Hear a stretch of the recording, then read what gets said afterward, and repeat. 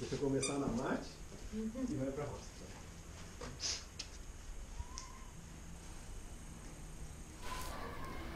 Mate, mate, ó pai. Aí.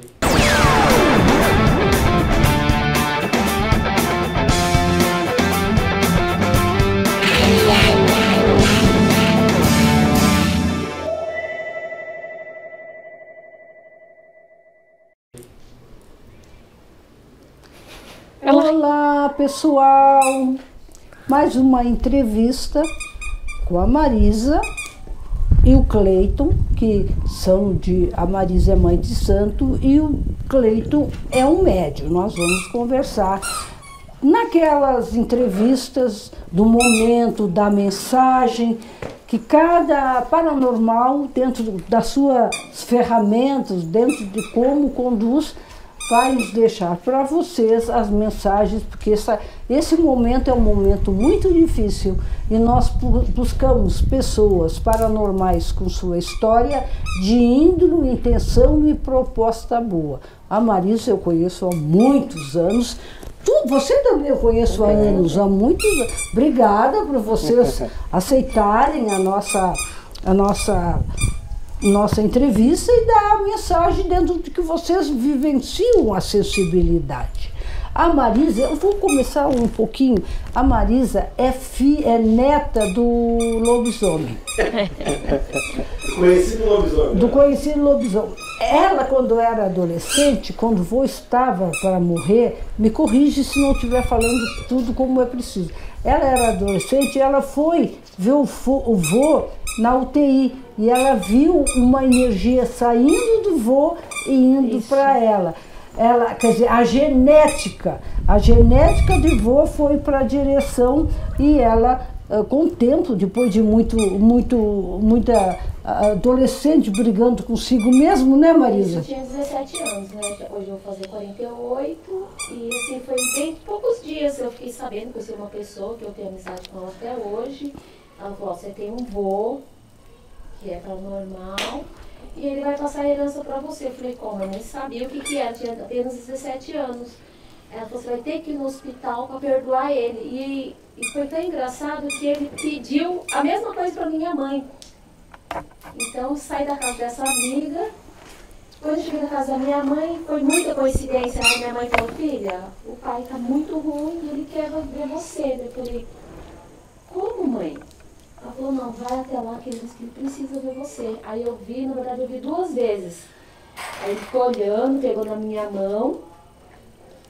Eu fiquei assustada, sem entender nada. A primeira vez, vi ele na, horário da visita. E a segunda vez, ele já estava isolado, já estava nas últimas, que ele faleceu, inclusive naquele dia de madrugada. Eu fui num domingo, era umas sete horas da noite. Quando eu cheguei, assim, ele estava isolado num vidro. Eu coloquei a mão e falei as palavras que ela pediu para falar, né, a entidade da pessoa. Aí, quando eu coloquei a mão assim, eu vi saindo dele. É genética, a gente chama isso herança genética. Passou, como as benzedeiras recebem, muitas pessoas. Aí, é, eu, eu digo, tenho um, um, um posicionamento isso a gente não, não, não busca, não faz cursinho. A gente vivencia. O cursinho é para dar conhecimento, para ter grupos. Isso vocês já têm naturalmente, né? E tu, meu amado, conta a tua história. Então, eu comecei mais ou menos aí quando eu tinha uns 10, 12 anos, Olha. quando minha avó faleceu. Aí no dia que a minha avó faleceu, eu não consegui ficar muito no velório nem nada, mas eu não chorava. Eu estava amargurado por dentro, mas não chorava. Aí no dia seguinte, meu avô foi enterrar a dentadura da minha avó. E eu conheci o, o barulho do carro do meu avô de longe. Aí eu peguei, eu escutei o barulho do carro falei, vou ver o que é, né? Vou ver que era ele, vou, na brincadeira de criança, vou lá encontrar com ele. Aí fui até a esquina e eu vi minha avó me acompanhando, vindo até mim. Aí ficou conversando comigo um tempo, mas o carro do meu avô não vinha. Aí depois o carro do meu avô veio como se fosse uma nuvem, assim, até chegar perto de mim. E ali foi a primeira vez que eu tive contato com a linha espiritual. Cresci numa família católica, meu avô super católico até hoje. E a partir dali começou as minhas curiosidades espirituais. Falei, o que está acontecendo? O que, que eu vi? Eu não sou doido, né? Uhum. Como que eu posso ver assim, minha avó ficar conversando com ela? Fiquei aí mais ou menos uns dois meses vendo e conversando com minha avó. Minha avó contando coisa que aconteceu, pedindo para acalmar os filhos, ajudar. não ficar chamando muito ela, porque ela tinha que tentar seguir o, o discernimento e o acompanhamento dela. Isso ela me falou. Aí nisso eu comecei a ler muitas coisas sobre espiritismo. Aí mais ou menos com uns 14 anos foi a primeira vez que eu senti uma, uma incorporação. Eu não entendi o que era. Aí eu saía pro meio do mato para ninguém me ver e ninguém ver o que estava acontecendo comigo. E nisso eu ficava parado no mato. Até passar, eu senti que não tinha nada demais e depois eu voltava. Isso aí mais ou menos com uns 14 até uns 16 anos eu fazia isso daí. Aí chegando aí aos 17, 18, uma mulher veio conversar comigo, que hoje até é onde eu frequento, até ela é mãe de onde eu frequento. E ela contou coisas que acontecia comigo e coisas que só eu sabia. E aí foi onde ela me levou primeiramente no centro espírita, fiz o, fiz o curso de passe, fiquei um tempo no centro espírita com ela, mas ela falou, seu lugar acho que não é aqui. Uhum. Tem um lugar que você vai ter mais energia ainda. Aí até que ela me levou num terreiro, aqui na, aqui na cidade de Joanópolis mesmo. Aí começou a gira do terreiro, eu fiquei assim, apreensivo.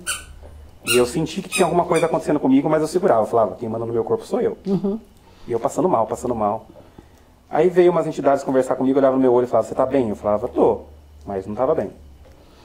Até a hora que aí eles desenharam um barco no chão. Eu lembro certinho o desenho, o formato do barco na, com areia, né? Fizeram com o pé na areia. E aí chamaram a linha dos marinheiros. Onde o marinheiro dessa, dessa senhora veio falar, veio, puxou a mão. E ali foi a primeira vez que eu tive contato com a incorporação. Viu? E estou aí há uns 15 anos nessa linha. É isso, não é, não é assim, ah, do nada agora eu vou, ser, eu vou fazer um cursinho, eu sou médio, eu sou... Não, a história, vocês notam que ela vem de criança, né? Vem, é uma história, não é? é e também não é porque alguém tu, tu, tu é médium. Todos nós somos paranormais, nós não temos que desenvolver algo que não é forte. Nós temos que conhecer para depois Sim. absorver. Eu não sei se a Marisa lembra, mas eu tinha um amigo imaginário quando era pequeno que eu lembro. Que eu relaciono com a entidade de Ere hoje, uma das minhas Isso. até. E eu tinha. Ficava o tempo todo brincando e conversando com ele. Ele falava, não vai em tal lugar, cuidado com essa pessoa. Viu? Viu que bonito? Já vem, então realmente já vem. Já vem. Já, isso é de berço. É de berço, é genético, né? Muito hoje, é, eu presenciei, presenciei sempre, infelizmente, é uma vergonha para a parte espiritual isso, porque é, os médicos querem uma incorporação para ontem, eu vou incorporar hoje, daqui dois, três meses já está dando um atendimento sem preparo algum. Uhum. Às é. vezes até um inconsciente, não é nem um médio. É, já sabe de tudo, pega, vai lá, puxa na internet, a internet vai dar trilhões de coisas, mas o, você tem que ter a prática ali, é uma caminhada. E, e saber, é saber para quem essa prática é direcionada. É. E todo dia a gente vai aprendendo cada vez mais com isso eles, mesmo, entendeu? Eles vão nos ensinando. Mesmo, isso mesmo. A minha caminhada está aí há 30 anos e eu ainda estou aprendendo. Não tenha dúvida. Eu estou há há 68 Todos os anos dias tô, eu aprendo surpresa. Mas, tu me disse uma coisa que eu achei, que eu sempre percebo, mas como a gente é sozinha pode levar, que tu disse que tu percebe quando as pessoas estão incorporadas ou estão fingindo. fingindo. Eu já vi muito isso. E eu achei muito interessante esse teu processo. Eu era muito curioso essas coisas porque eu ficava pensando comigo, eu falava, será que está acontecendo comigo mesmo? Será que não sou eu que vou dar atendimento? O que, que vai acontecer? Passava essas coisas na minha cabeça. E eu ficava muito do lado dessa senhorinha. E assim, o que estava acontecendo, que eu estava vendo na minha cabeça a pessoa incorporada, ela chegava e falava a mesma coisa. Nossa, você viu o cigano do cara que é daquele tamanho? E eu, justamente o que eu tinha visto. Uhum. Então aí foram confirmando as coisas. Eu falava, nossa, não é coisa da minha cabeça, realmente eu estou vendo eles. Sim, mas quando tu vê um médio fazendo ou, inconscientemente se passando por um espírito. Também você consegue. Também consigo perceber. Principalmente como eu já peguei, já vi médiums que usam da sua espiritualidade para tentar corrigir as coisas em casa. Uhum. Que nem eu tenho um conhecido que aconteceu comigo uma vez. Ele estava incorporando e ele estava catracando a mulher dele. Só que na verdade não era a entidade, era ele. Era porque ele. você via as coisas que falam, uma entidade não vai falar aquilo. Usa, manipula, porque na verdade a entidade ela não vem em terra é, se eu tenho um problema com meu marido, pessoal, ela não vai entrar no meio. Uh -uh. Não tem como. Meu problema é eu e meu marido. Então, não pode, não tem, porque se ficar assim, as pessoas vão manipular. Vai, vai manipular. É isso mesmo, vocês viram que espiritualidade não é Gente, uma coisa que, que eu gosto muito de dizer, paranormalidade, mediunidade, todo ser humano tem. É razão, emoção e sensibilidade. Agora, para ter a flor da pele, para fazer um trabalho, precisa ter genética, a sustenta, a índole. A índole. Entendeu? A intenção. Se não, se a sua índole, se a sua intenção não for boa, a sua genética recua e você é sustentado por energias uh, negativas. É. Sim. Marisa, eu gostaria que, por favor, desse uma mensagem dentro da tua leitura para esse momento que está muito uh, afetando muito todos os sentidos financeiro, saúde, família.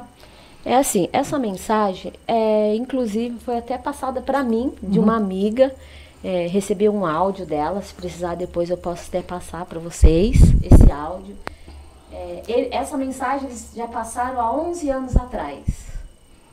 Que ia chegar uma época, dentro de mais ou menos essa, dentro de 10, 11 anos, que ia chegar uma época que ia acontecer uma coisa muito grave, mundialmente, porque o que está faltando hoje? Respeito com o próximo, amor, não tem mais respeito, não tem consideração pai, mãe, filho, vizinho. Uhum. Então hoje tudo é, eu vou fazer isso amanhã. Não, não está preocupado, eu vou visitar minha família amanhã. Eu vou pegar meu filho, eu vou abraçar meu filho. Então não está tendo mais isso, esse convívio é, familiar. As pessoas perderam a dignidade, perderam acho que tudo, na verdade. O né? respeito, o limite. O respeito, o limite. O ser humano, é, ele não pensa em outra coisa a não ser prejudicar o próximo. E dinheiro, dinheiro é essencial, mas não é tudo. Como não. também preservar, no nosso caso, o meio ambiente, né? Preservar, a gente trabalha muito com as energias do meio então, ambiente. entraram muito, é, esqueceram que a parte espiritual, e todas as religiões existe. Então está faltando um pouco de fé. Não, e também de. Porque as religiões estão sendo controladas pela razão Pela e pela razão. conveniência. Pela conveniência. Porque caso contrário, a coisa seria. Se fosse só pela espiritualidade, não haveria tanta perseguição, tanto chantagismo, tanto oportunismo. Por quê? Porque são razões usando a fraqueza do outro. Isso, então a parte espiritual não pode, na verdade, são pouquíssimos, né? Que você pode ver que hoje está passando uma mensagem. é, eu recebi um muito lindo de um médium que desencarnou em 1941, que realmente é o que está acontecendo. É, as pessoas não estão nem aí para nada. É. Tá certo, Marisa, porque é, é, é, as pessoas um indivíduo é uma coisa. O indivíduo, quando é, eu sou um indivíduo, preciso me organizar, preciso ter limite, preciso dar limite. O indivíduo, desculpe, o individualismo, eu sou, eu quero, tem que ser como eu quero, eu te manipulo, faço. Isso é o individualismo que se eh, tra- o indivíduo transferiu para o individualismo esse egoísmo. É, porque eu quero ver agora, né? É, com esse vírus, infelizmente, cadê é, aquele que cura isso, o pastor, o curandeiro, aquele, aquele outro? Não, tem que ter a fé e acreditar. E, e- e o que acredito eu que muita gente não está vendo que realmente está acontecendo. Deveria primeiro por outro lado dar uma olhada para voltar e Assim, ver é. realmente o que está acontecendo, porque a situação é bem delicada. É mesmo. E tu, amadinho, qual é a tua mensagem? Eu vejo muito assim como a parte assim, principalmente da natureza, né? Que no nosso caso assim, a gente trabalha muito com energias e forças. Até aconteceu comigo esses dias. Eu fui na cachoeirinha aqui de Joanópolis passear. Bater um papo com um amigo que faz tempo que eu não vejo. E eu vi assim a quantidade de trabalhos que estão feitos ali de, oferendas espirituais. Que a gente oferende um presente ao nosso amigo. Na nossa linha de umbanda a gente oferende um presente ao nosso orixá ou em agradecimento ou em alguma coisa que a gente precisa. Mas beleza, você foi lá, fez a sua entrega, tem coisa que tá lá que você colocou, nem garrafa de vidro. Garrafa de vidro, a natureza não vai decompor, vai levar anos. Não custa nada você, depois de um tempo, sei lá, limpar e trazer de volta. Isso mesmo. Entendeu? Então acho que a gente tem que pensar em tudo dentro desse momento. Refletir sobre o que, que a gente deixa para o meio ambiente, o que, que a gente está tirando do meio ambiente, porque a gente precisa usar. Só que tá naquela, vamos usar com consciência, né? Preservando o nosso ambiente. Eu acho que a minha parte espiritual de mensagem seria nesse sentido. A gente pensar extra da gente. E voltar diferente quando voltar, né? E não querer mudar a parte espiritual, porque na, é- naquela época, um exemplo, o preto velho, ele fuma um cigarro de palha. Hoje eu tô ouvindo algumas pessoas dizer, não, mas ele não vai fumar, então peraí, É o médium ou é a entidade? entidade. Então, tá Eu, fui, tendo eu sou muito criticada. Aproveitando, nós estamos entre amigos, quando eu apareço com cigarro de palha. Houve uma época, eu, eu, eu, eu não fazia, não usava mais o cigarro de palha. Eu não é pelo. ah, o que, que acontece? O meu pai sempre me ensinou que o cigarro de palha era mais saudável que o outro. Eu, como trabalho com o elemento fogo, eu não vou ficar com uma fogueira pendurada nas minhas costas. Então, eu passei para o cigarro de palha. Eu fui tão criticada que uma época eu tinha vergonha. Eu escondia o meu cigarro. Daí, depois, espera, um pouquinho. Eu não trago, não estou mandando ninguém fumar, não faço propaganda do cigarro e vem me criticar. Agora, eu já sei. O cigarro é o meu elemento fogo que às vezes eu preciso, não vou andar com uma fogueira nas minhas costas, né? Como eu não acendo vela, então eu preciso de um, um- Eu sei que esse foguinho aqui vai me ajudar. Sim, é isso, sim. as pessoas têm. que- Claro, temos que respeitar. Mas não, porque a crítica em tudo, por- porque a minha religião não aceita, eu te critico. E estão querendo mudar a essência, né, da espiritualidade. Da espiritualidade. estão Estão querendo querendo manipular, né? é, controlar, isso Controlar. mesmo. Hoje é tá- muito importante. Então, infelizmente, você pe- precisa pegar um médium raiz, ali tá difícil. Hoje tá bem complicado. Tá assim. É porque.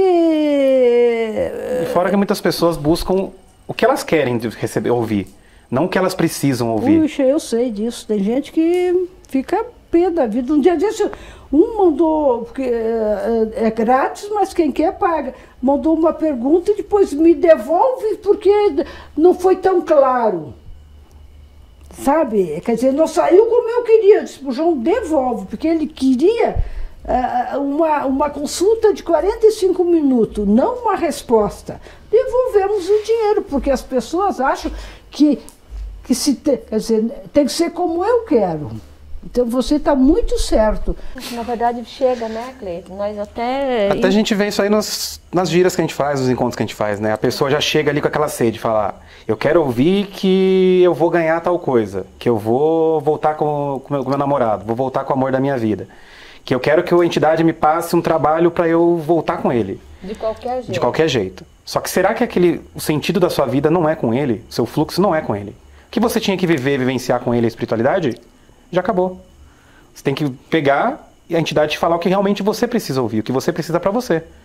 É Ah, doloroso pra gente? É. Mas tá naquela. Você já foi ali com o coração aberto, você tá indo pra ouvir o que você precisa. A cura que você necessita receber. Mas as pessoas não, é o individualismo. Não me interessa se ele gosta de mim, eu quero ele. E Eu pronto, quero ele, sim. não acabou. tem a, a sequência da emoção, tem o egoísmo de que esse, esse objeto é meu e que se E dane. quer ter a posse. Fora que né? acredita daquelas pessoas, né? Nossa, eu vou devolver seu amor em três dias. Devolver seu amor em sete dias. Não a existe. espiritualidade tem tempo? O tempo dele já é diferente do nosso. É isso mesmo. É, devol- traga o seu marido, o seu noivo em Em sete, sete dias. Cobra não sei quanto de É, você, leva não sei quanto. tirando isso, gente? É, querida, mas eu vou- agora eu vou contar uma coisa que aconteceu quando eu morava em São Paulo há mais de 15 anos. Lembra, lembra João? Aquele é famoso, não sei onde que ele anda. Não é nenhum desses aí. Eu acho que ele já estava meio de idade, não ele se recolheu. Ele foi na minha casa te- eh, conversar. Conversando, eu disse, ah, mas você sabe que isso é da, da, da, Era um pai de santo. era um pai de santo. Eu disse, tu sabe que isso tudo, muita coisa, vocês estão enganando. Não é assim. Existe o trabalho direcionado, mas dentro do contexto. Não é assim como vocês fazem. Sabe o que foi que ele disse? Que eu me choquei até hoje, eu me choco. Rosa, é dinheiro fácil e as pessoas pedem e é dinheiro fácil. E foi- era um homem de peso. Infelizmente. Infelizmente, muitas pessoas levam a espiritualidade para esse lado. Dinheiro de peso. tem. Infelizmente. Eu nunca esqueço. Lembra, meu bem? Lembro. Ah, morava na Guanambis ali. Um ponto que eu queria tocar também com vocês aí, que eu tenho visto na internet, é que muitas pessoas estão falando que não estão sentindo as suas entidades nesse momento. A gente sabe que realmente a linha dos Preto Velhos estão trabalhando realmente com curas muito poderosas em hospitais aí imensos, né?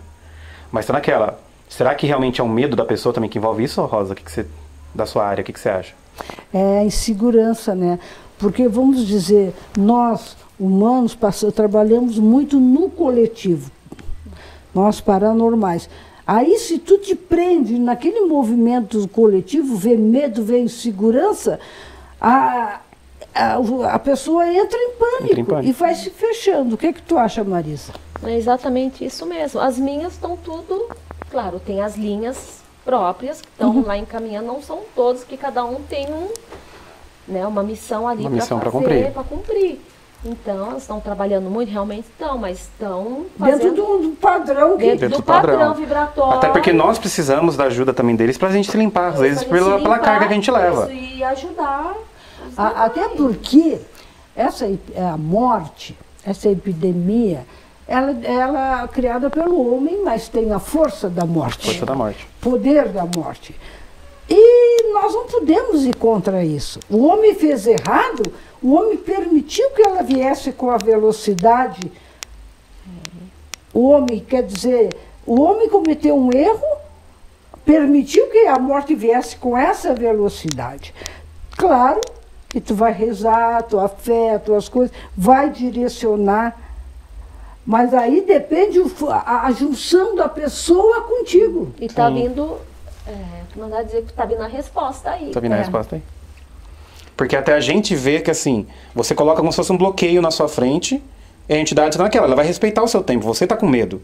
Então ela não vai te acompanhar, ela tá, tá te protegendo ali. Mas se você colocou uma barreira acima dela. Isso Às vezes mesmo. até porque você tá ouvindo pela mídia, que tá falando, ah, tá matando tantas pessoas, mas não estão falando tanto o lado positivo, estão curando também quantas pessoas. Então estão te jogando negatividade.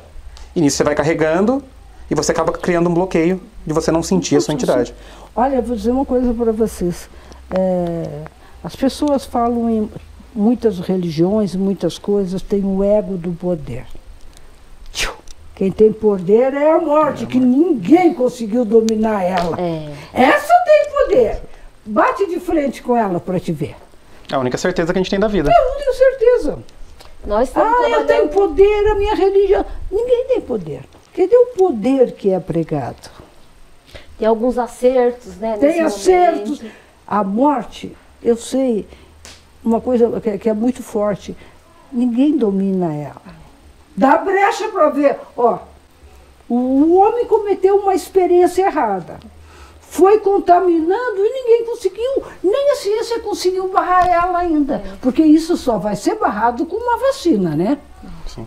Inclusive, no caso da morte aí, a gente tinha uma visão diferente dela antes de ser espírita também, né? É. Hoje a gente leva ela de modo mais natural, né? É mais natural. Porque antigamente a gente fica muito bitolado naquela. Ah, eu vou morrer. O que, que vai acontecer depois que eu morrer? O que, que vai acontecer comigo? Pra onde eu vou? Eu vou sumir? Vou evaporar? É uma dúvida que todo mundo tem. Só que quanto mais você vai se atraindo, lendo, buscando, conversando com as entidades durante as giras, você vai aprendendo e tendo uma maior tranquilidade relacionada a essa morte. Ai, você gente. leva ela com uma maior tranquilidade. É. Eu respeito muito a morte. Ela, Respeitamos. mim, é, é, é, é, é uma das protetoras. Mas aí eu quero ver o teu poder contra ela. Nem a, nem a ciência, nem os intelectuais ainda acharam. Vão achar, não é para já, vão achar coisas Sim. que vão amenizando, entendeu? Mas o importante disso, João, eu não falei ainda, mas vou falar. Que vai haver uma, é, a vacina que vão fazer para isso dá- vai facilitar. É uma vacina contra todas as outras gripes, as outras coisas. Por isso que vai demorar um pouquinho. E tem que demorar, porque se, for- se alguém criar uma vacina hoje, você vai usar? Não, ninguém é doido. Entendeu? Ninguém é doido. Então vai, tem o tempo de demora por isso mesmo. E também vai ser assim, não tem a gripe isso, gripe aquilo, gripe, Tem gripe asiática, suína, gripe, de- gripe- É, Essa vacina, ela vai ser uma vacina única. Muito interessante, muito E vem interessante. da onde, Rosa? Ah, não vem do Brasil, não espere do Brasil. Não Do é que nós Brasil? não tenhamos grandes cientistas, é que nós não temos cobertura, nós temos grandes cientistas, especialistas, mas não temos a cobertura, Não temos um investimento muito não bom aqui temos também. investimento e esse investimento é longo. E a cobertura é muito imediata, ligada no E também dia. nem tão preocupado, né? Verdade é essa. Não afronte a morte. Ela não tem medo de nada nem ninguém. De vivo, de ciência, de religião. Tanto é que tem gente morrendo de todas as crenças e de tudo. Olha, meu querido, bate cabeça. Bate cabeça e digo, olha, Aí vem a história, que dentro do meu conceito, eu tenho uma força, minha força vai para o cosmos, traz tranquilidade para mim me, me cuidar, para que os meus guias me direcionem uma orientação, que fortaleçam e eu tenha clareza das coisas. Aí a coisa eu acredito, porque Sim. não E quando a gente acumula. tiver muito acumulado, muito pesado, a gente vai buscar um lugar para se limpar, Vai, vai se libertar e voltar ao nosso equilíbrio. Isso. Porque o sentido de tudo é todo mundo ter o seu equilíbrio. Isso, aí todas as vocês áreas. trabalham nas oferendas, nas coisas, eu já sou mais eh, diferente. Mas as nossas diferentes, cada um faz o seu facilitador. É o Eu acho bonito até a frase. hoje, né, cada, médium, cada médium tem o seu jeito de se limpar. Tem seu Cada jeito. médium tem o seu jeito. Cada pessoa. Não é que um é melhor que o outro. Não, cada médium trabalha de um jeito. Eu, eu digo que tem suas ferramentas. Sim.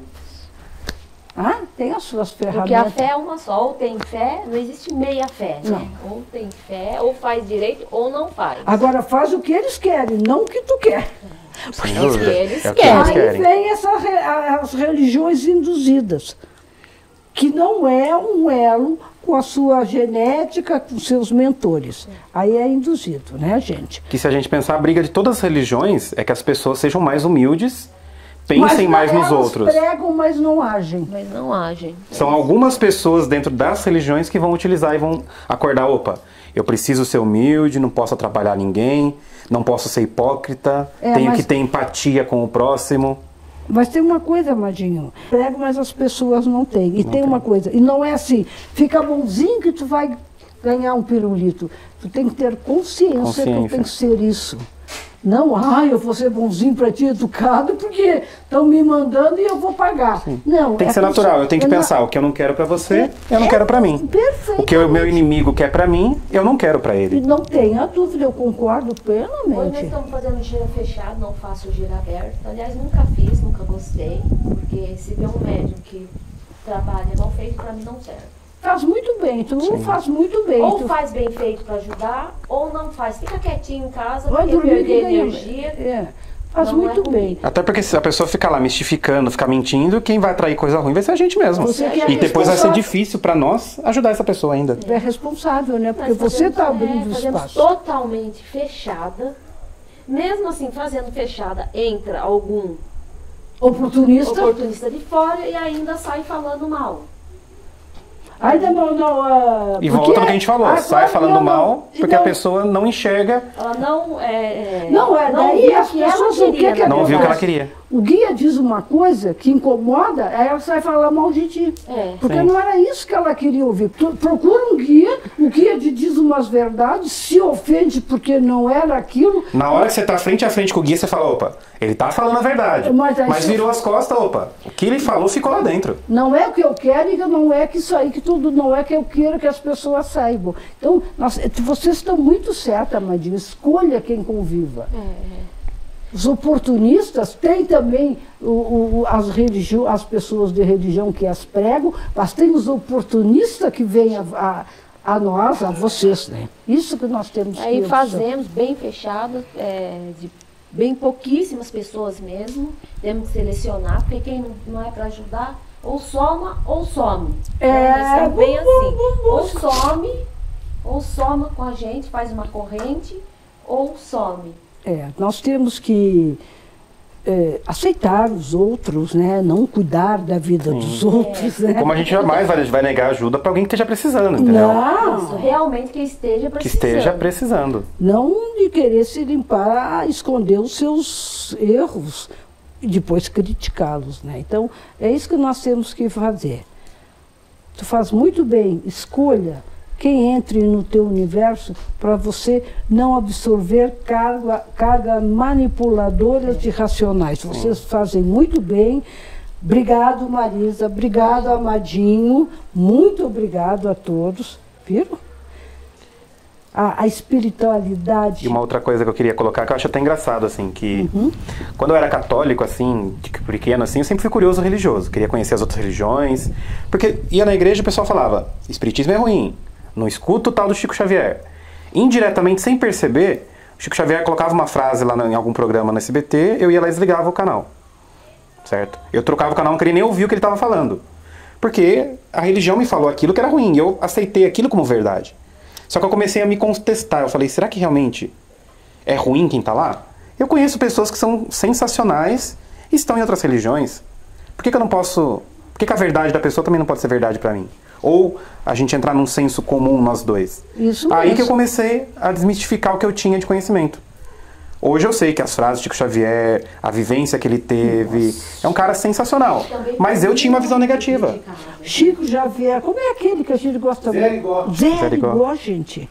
Tanto é que a NASA estudou o Zé Arigó durante 10 anos e disse que ele não era um ser desse planeta. E foi os dois perseguidíssimos. E olha Por isso o pessoal foi se adaptando. Foi se adaptando. Porque a pessoa não é comum pra você, eu vou criticar ela. Nossa, Né? Sendo que a pessoa é uma mesmo. pessoa humilde, é uma pessoa carinhosa, tá tentando fazer o bem pras outras pessoas. Independente do que ela acredita. A verdade pra ela é a verdade que ela evoluiu e conquistou pra Só ela. não pode manipular e prejudicar. Desse. Quer dizer, a minha liberdade, ela tem um limite, porque eu tenho que respeitar a tua liberdade. Eu posso, sim, eh, botar limite quando tu invade a minha liberdade, mas com respeito, com educação, distanciando das pessoas. Tu não precisa conviver Não com precisa. pessoas que tu sabe que, é, que gera negativo. Então, E é uma coisa que ninguém faz, né? Vai debater, vai debater, vão debater ideias. Eu não debato pessoas. Eu debato a ideia dela pra gente tentar entrar num consenso. Sabe, querido, eu, eu tô, depois de decisão, quando a pessoa vem debater muito comigo, eu digo, depois quando tu morrer a gente se encontra. Por que você vai desgastar tempo? eu vou perder tempo? Agora estamos no finalzinho e vocês que têm a mesma opinião, o mesmo respeito, a mesma integridade consigo, com a sua fé e com seu semelhante, eles vão deixar o- os meios de comunicação vocês podem trocar ideias, né, queridos?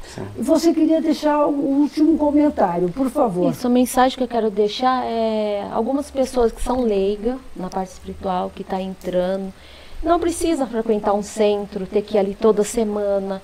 Isso vem de berço, é, procura um lugar idôneo para ir um lugar que, que dê que realmente seja verdadeiro.